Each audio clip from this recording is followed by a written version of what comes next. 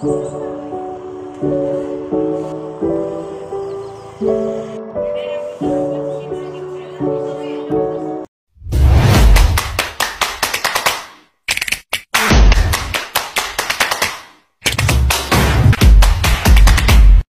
Valen, saya ingin menanyakan tentang teknologi digital di zaman sekarang. Baiklah, silakan. Pertanyaan yang pertama adalah, teknologi digital apa yang lebih sering kamu gunakan sekarang? Smartphone atau enggak lebih ke HP sih? Oke. Pertanyaan yang kedua adalah, konten yang sering Anda akses adalah? Eh, Google. Oke. Yang ketiga, kendala apa yang sering Anda alami saat Anda memakai konten tersebut?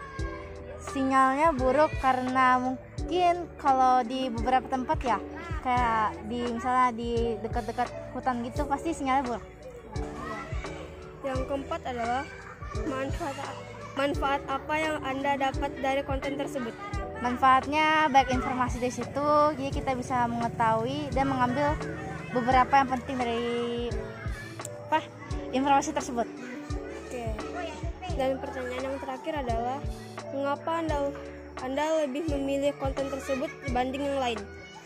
Saya lebih memilih konten tersebut karena lebih banyak informasi yang dapat diterima dan kita bisa mengambil beberapa hal yang baik di situ. Oke.